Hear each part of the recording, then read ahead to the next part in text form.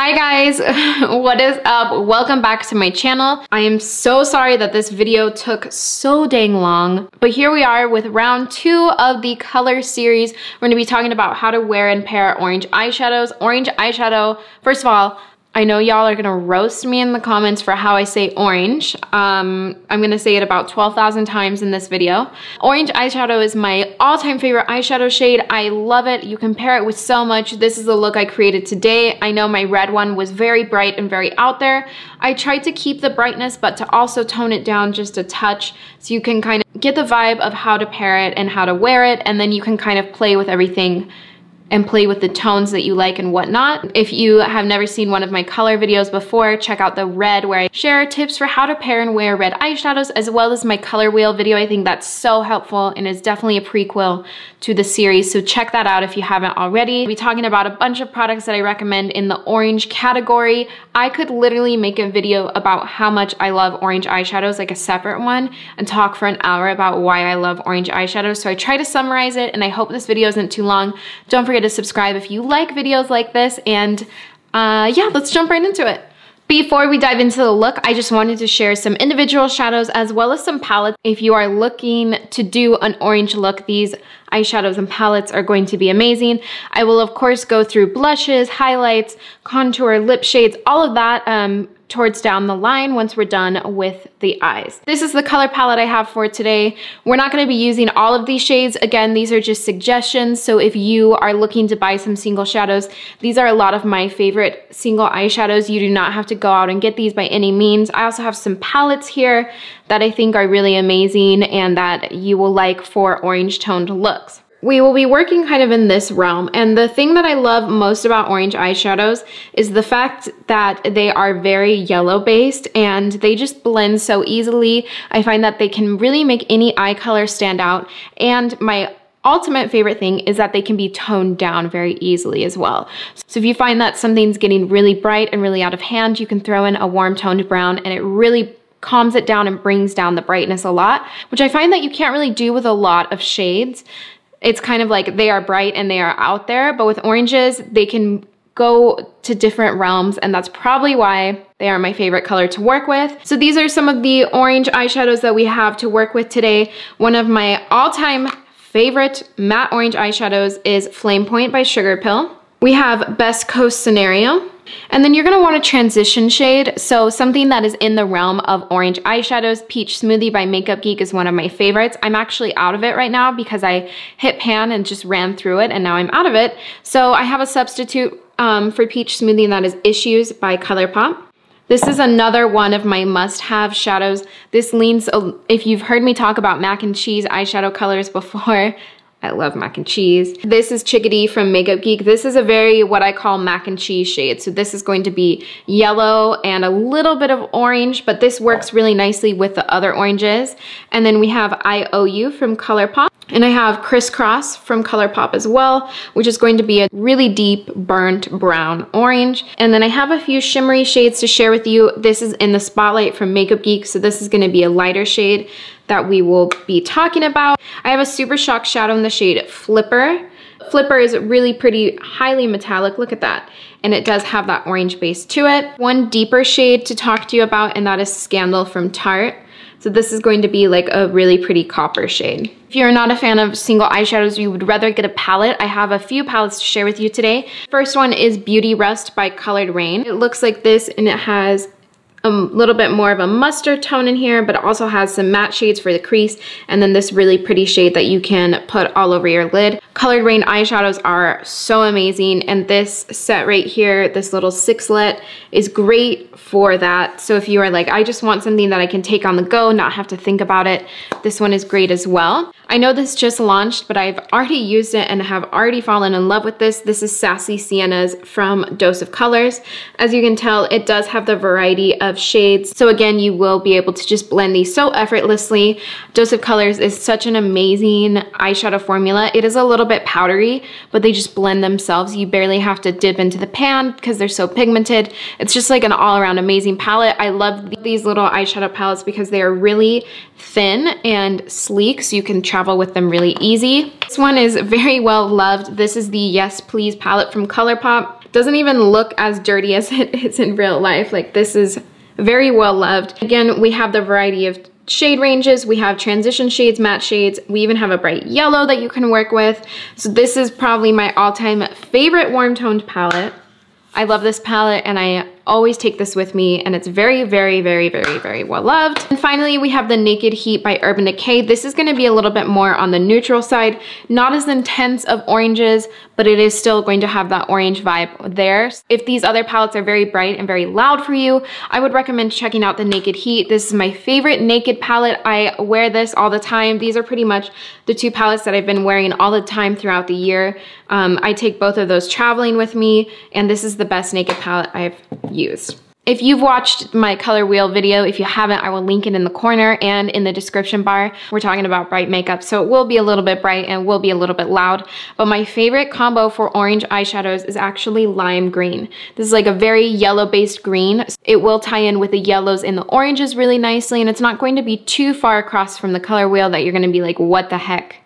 That doesn't match at all. It actually looks really, really pretty on the eye. But this is Acid Berry from Sugarpill. I also have a shimmery eyeshadow if you are not wanting a matte one. This is Electric Warrior from Kat Von D. Mine broke, sadly. This is gonna be a really nice shadow if you don't want a matte shade. You can definitely use Electric Warrior. You are thinking, you know what, the lime greens are just too intense for me. You could also try a really, really yellow-based gold. This is Come Clean from ColourPop. This is going to be highly metallic, very yellow based, so it will give almost a hint of green, but it will still be yellow and in the realm of the orange eyeshadows. Okay, I feel like that's a lot of information. Hopefully I'm not forgetting anything. I'm also not saying that this is the only combo that there is for orange eyeshadows. I love really warm toned magentas, purple, stuff like that with oranges. You could do navies. Really, the possibilities are endless. This is just the color combo that I'm picking for today. A color combo that I think really stands out if you're going to wear bright eyeshadow. You might as well go all the way, personally. That's what I think. I've had this saved in my phone forever since July 14th is when the screenshot says. And this is a look by Atlantip.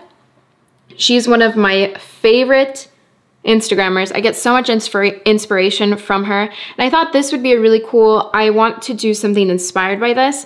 So maybe the oranges in the crease with a little bit of raw power all over the lid. She has the wing cut out, but maybe I could fill that in with raw power and I wanna do something on the lid. So we'll kind of figure it out. We're gonna play around. I'm gonna go do one eye off camera really quick and I will be right back. So I already went ahead and primed my eyes and I even brought the primer out just a little bit since we are going to have this wing shape going on. I'm gonna start with Issues and this is going to be our transition shade. So we're gonna wanna take this shade the highest out of any other shade and this is gonna help the other colors blend.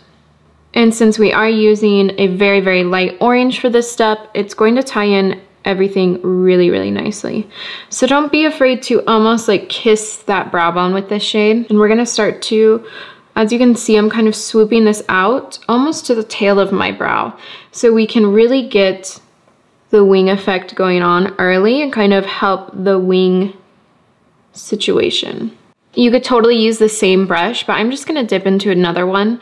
And this is Chickadee by Makeup Geek. And I'm gonna be doing almost the same thing. Again, bringing this far out for the wing, but then I'm gonna take Chickadee just a little bit lower and I'm tilting my head up. So I'm tilting my head up because I want to avoid getting this color on the lid as much as possible. We are going to clean up this the lid area as you can see. We will clean that up, but we really want to make sure that we don't have to do any extra cleanup, like remove any color, or we don't want the product that we're putting down before the electric green to kind of get messy or muddy or anything like that. So we're gonna try to keep this area as clean as possible, which I know might not always be possible, but just try your best. I'm gonna go back in and give that one quick blend. Again, dragging it out.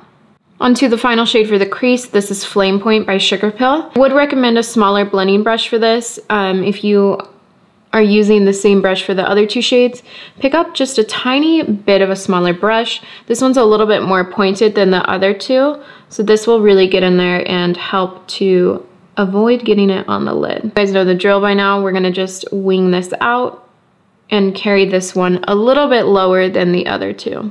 So if I'm looking at my lid, I can kind of see where I will need to put more of flamepoint because a lot of that is gonna get erased. So I wanna just apply a touch more.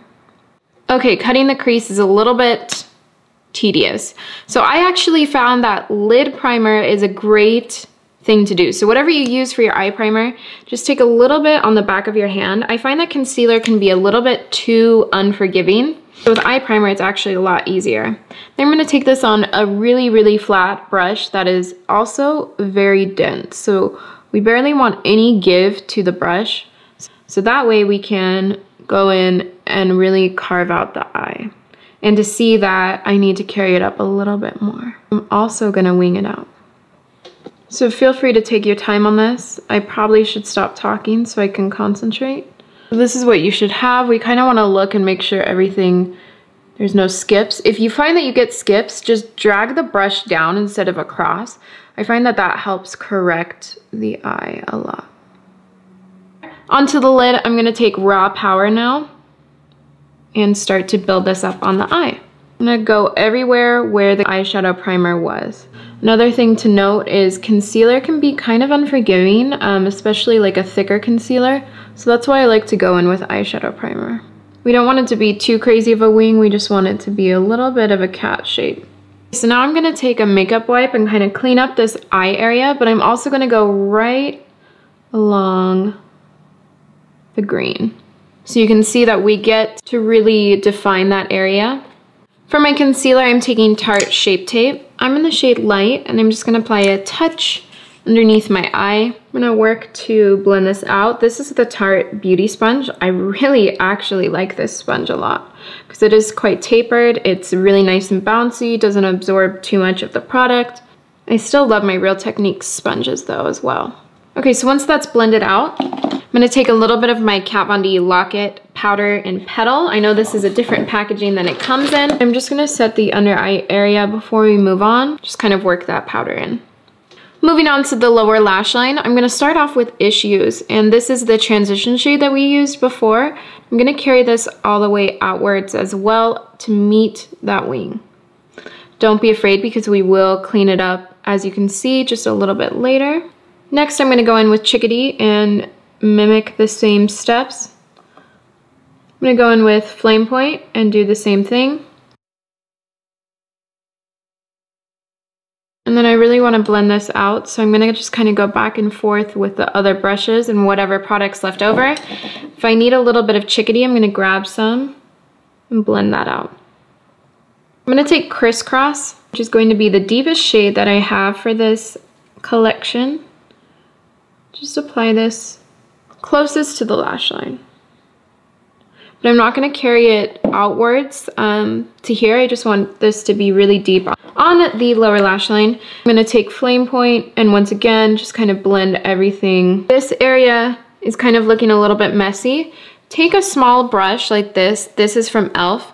And I'm going to use a copious amount of powder. And I'm using just the under eye powder that I used to set the concealer. We're just to kind of help to wing that out. This is kind of like baking, but we're not baking the under eye. We're just kind of using it to correct everything. We will brush this off in like two seconds. So don't worry. If you have dry under eyes like me, please don't worry. We will just get rid of this really quickly. For my inner corner highlight today, I'm taking this really pretty quad from Linda Hallberg's. This is the Enchanted Secrets palette. I'm going to be taking Ethereal, which has that really pretty green base, but then it almost has a blue purple reflect to it. And blue is opposite of orange on the color wheel. So it's going to complement that area really nicely. And it's just going to give it a fun twist on an inner corner highlight. So for my waterline, I'm going to be using the Basquiat and Urban Decay Anatomy pencil on my waterline. This is like an orange. I know they have Torch pencil as well that you could use, but we just want something that's going to kind of match the lower lash line. Onto mascara. I'm actually going to mix mascaras, which I know is so annoying, but I've been loving this combo lately. This is what I have on this eye, Marc Jacobs mascara even says my name. And the Ciate Wonder Wand. This has been like my favorite combo as of lately. Totally forgot to do this before I applied mascara, but this is my favorite pencil eyeliner. This is Hourglass 1.5 millimeter eye pencil in obsidian and I'm gonna apply this on my waterline. Let's talk about lashes now kind of if you you totally don't have to wear lashes if you don't want to.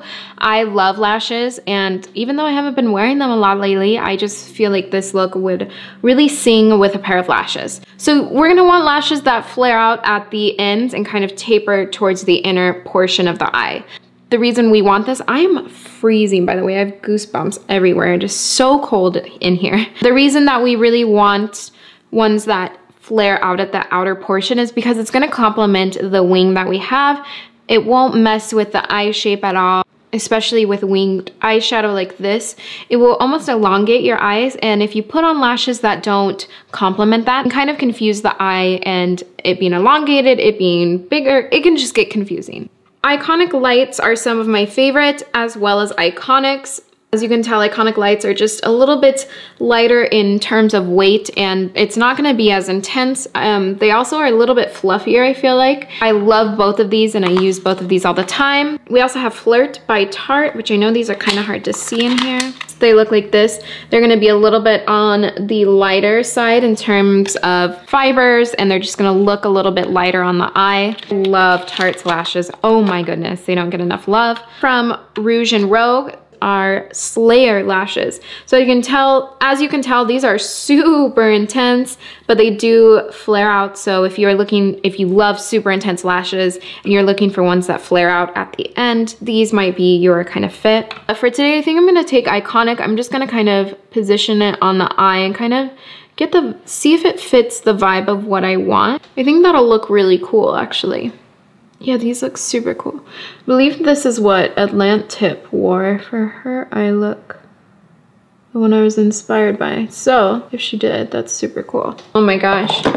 Look at Celine. She's so pretty. Can you handle this? I cannot. I just clicked on my Instagram because I'm like, oh, why these lashes are drying. Like, let me look on Instagram and she popped up. She's so freaking pretty and I watch her Instagram story tutorials all the time. This doesn't need to be perfect just yet. I'm gonna let this dry and then I'll go in and kind of pinch my real lashes and my fake ones together. I used to do this and a lot of people do it when the lashes, when the glue is actually wet, they'll go in and pinch the lash. And I find that that actually just dragged down my lash and didn't look good when I would look down. So I like to do it this way, let the glue dry on the eye, and then I'll go in and pinch once it's dry. So I will do the rest of my face and then come back and pinch the lashes so they definitely have plenty of time to dry. Otherwise, I feel like it just makes them slip down instead of form to the other one. You can also use an eyelash curler with that. While the lashes dry, let's talk about the face. I'm gonna contour as I normally would with a cool toned contour color. As for blush, I find tone on tone blush is so, so beautiful. An orange blush just, I think, matches this look perfectly. Good few ones to share with you. Um, we have some ones from Nabla and ColourPop that look like this. So you can kind of go if you want to do a lighter orange or if you want to do a deeper orange. It's totally up to you. I really love the blush formula of Nabla Cosmetics. These are two of the shades that I'm always reaching for. This is Habana this one right here is Nectarine. I've been wearing Nectarine a lot lately. And then this big one from ColourPop is Main Chick. Probably my favorite blush ever is the Kylie Jenner, Kylie Cosmetics X-rated blush. You can, I don't know if you can tell how well loved it is. Look at that. Pretty much use this blush with the Nabla ones. That's pretty much all I'm wearing. If you're looking for a cheaper alternative to an orange blush, I'd recommend Milani Luminoso. Everyone talks about this blush. It is truly gorgeous. I do agree that it is lovely. And also we have Wet n Wild Apricot in the middle. I know Manny wears this blush a lot and it is, oh my gosh, it is 58 degrees in this filming room right now and I am freezing. So if I'm like shaking, that's why. Um, anyways, apricot in the middle is a really gorgeous one as well. For highlight, you can do tone on tone orange highlighter or you can do something that will just naturally reflect onto your skin. It's totally up to you. Even gold highlighters are really pretty. Duochrome highlighters are gonna look beautiful as well. A lot of you have this. This is Fuego highlighter by Dose of Colors and Desi and Katy. This is one of my favorite highlighters. Fuego just looks so beautiful. It's such a gorgeous gold and the more you blend it out, the shinier it gets. So I really, really like that. Becca has their Light Chaser highlighters, and this one is called Champagne Dream Flashes Bellini. So this is a little bit of the gold and then a little bit of a pink reflect. e.l.f. has their new prismatic highlighters that look like this. You get a really orange side and then more so of a gold side. If you want to, you can totally mix them. This is in Siren's Call.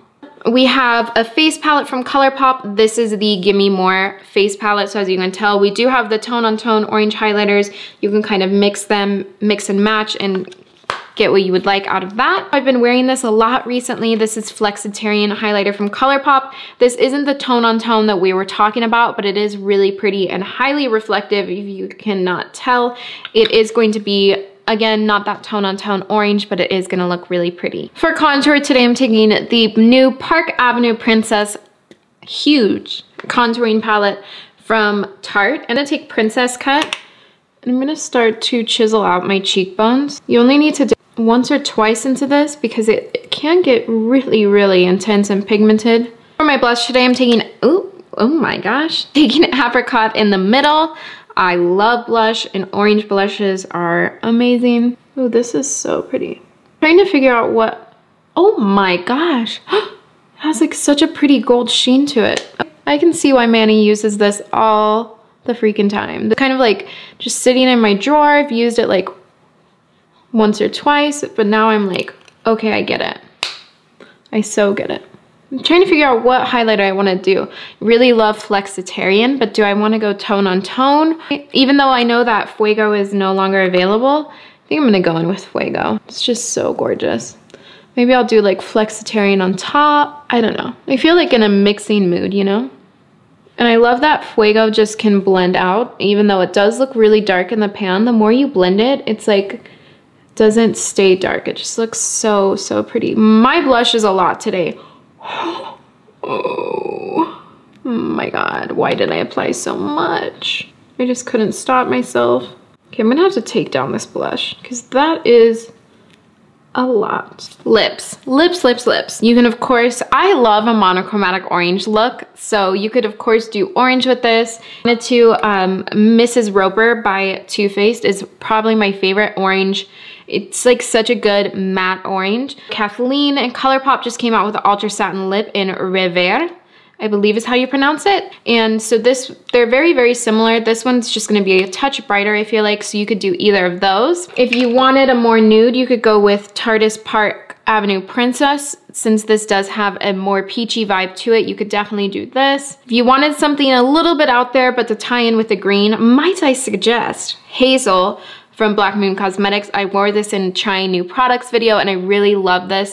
So you could definitely pair this and it would tie in the green really nicely. But if you're like, oh my gosh, that's it's a little out there. You think the orange is too bright. You could also use Sweet and Sassy from Dose of Colors, which is what I think I might actually use today. Ooh, the shade's so pretty. I love Dose of Colors formula really good. And I find I was in New York and I wore it all day without any touch-ups or anything multiple meetings, walking outside in the cold.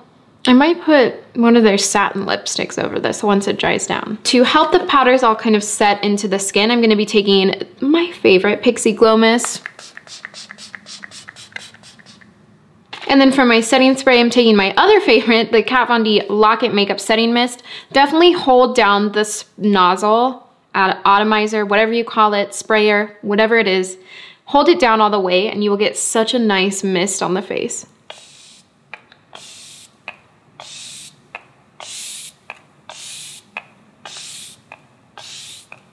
I think I might want to put one of their satin lipsticks over this. I think I'm going to take the shade Butterscotch. Okay guys, here is the final look. I really hope you enjoyed this video and learned a lot about orange eyeshadows, aka my favorite eyeshadow color ever. Again, my apologies for the delay in the videos.